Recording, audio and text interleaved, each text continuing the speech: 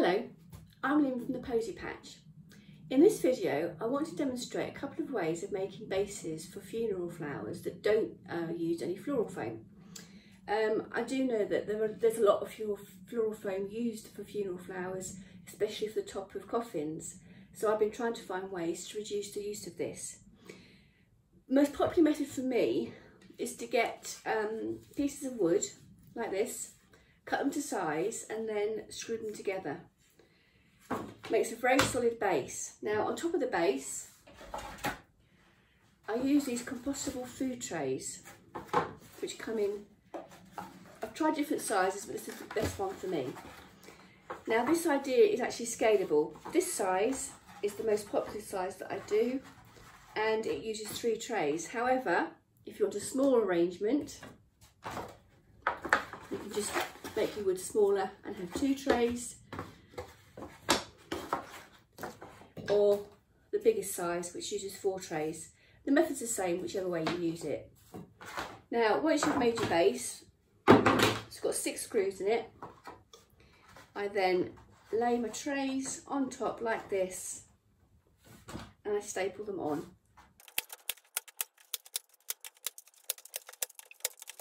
Now, as you can see, this is a very solid base that I could then fill.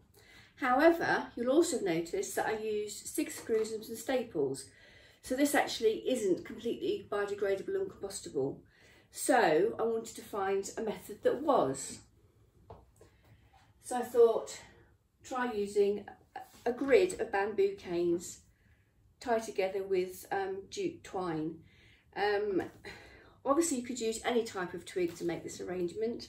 I've just made it the same size as my other one, so it takes three trays. Now this time for the trays, I've made holes in the bases and I've threaded uh, more twine through. So I'm going to put them down like this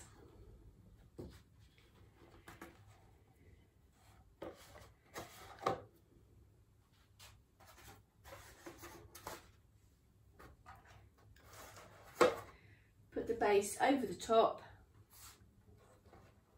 and then attach the base to um, the trays. So this is the finished base. I've tied on the um, containers with more twine and as you can see it's actually quite a solid solid base. Now for added security because these are actually compostable they do actually go soft over time I do add a layer of compostable bin bag. So that goes in like that. Just to add a bit more water, water security. Now, it's up to you what you then fill it with. I use, if I'm using a moss mix, I do mix it with rehydrated coco fibre, which comes in bricks like this, which reduces the amount of moss that I need to use.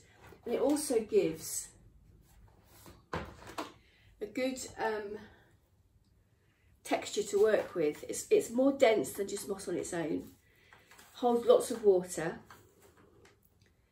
So I then really, really push that in to give a nice dense mix to work with. Like that. But obviously finish it off with a layer of natural moss.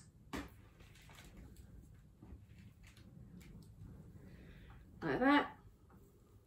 And then when that's done, when it's all complete, I then put a couple more bits of twine over it to keep it all secure. Alternatively, I've now started using this product from Agrawall, which is a natural floral brick, cuts to size really well, or and I can use that as well. So the choice is yours. So hopefully you can see that you can make large pieces for, for coffins without using floral foam, either completely biodegradable and compostable using um, twigs or with bits of wood that you can sew, um, screw and staple together. I hope that's useful. Thank you.